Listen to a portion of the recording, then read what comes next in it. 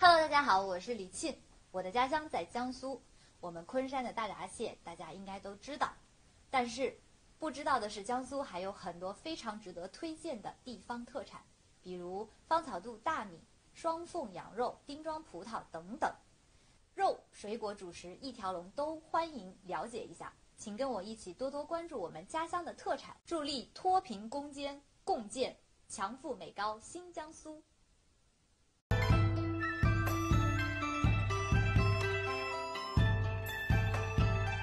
人人尽说江南好，游人只合江南老。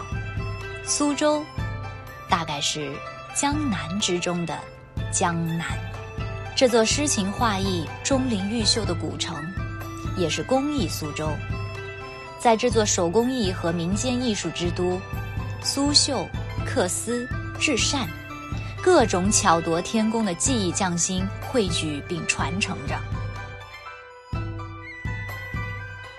传统与现代，古典与时髦，仿佛双面绣，在这个人间天堂交相辉映。我是李沁，欢迎来我的故乡，和我一起感受江苏之美。君到姑苏见，人家尽整合。小桥流水人家的苏州，如园林般精雅绝伦。这座园林之城，珍藏了一百零八座园林。九座世界文化遗产，满城都是珍宝。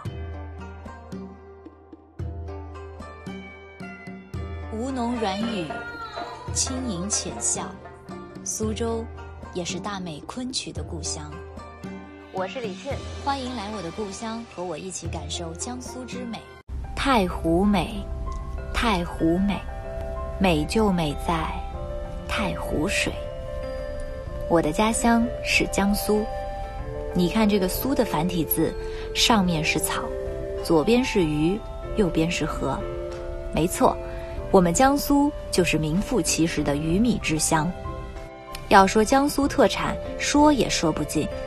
我们江苏吃东西最讲究一个“鲜”字，更爱吃湖鲜、河鲜、刀鱼、河豚、石鱼，那可是难得一尝的长江三鲜：白鱼、银鱼和白虾。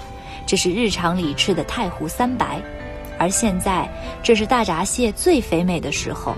你一定知道阳澄湖大闸蟹吧？不过，盛产螃蟹的江苏十三市蟹位各不相同：镇江长江蟹、南京固城湖蟹、无锡太湖蟹、徐州微山湖蟹、常州金坛区长荡湖蟹、连云港的海蟹，说的我自己都馋了。不过还没有说完呢，还有。扬州邵伯林、泰兴白果、建昌红香芋、高邮双黄咸鸭蛋，还有阳山水蜜桃、白玉枇杷、洞庭山杨梅、沛县冬桃，一年到头都吃不完。